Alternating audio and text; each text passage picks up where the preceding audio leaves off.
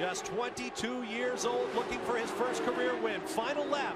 Could this be the day for Greg Moore and the Player's team from Canada? Moore thinks he hasn't won with his fist in the air. He takes the checkered flag and resets the record as youngest winner of a PPG CART World Series event.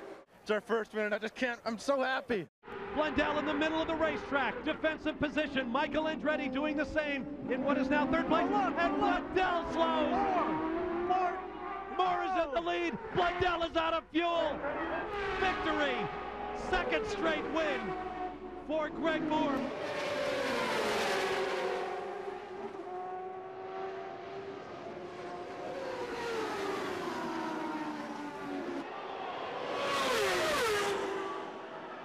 Greg Moore draws to a couple of car lengths away, and he will win the US 500.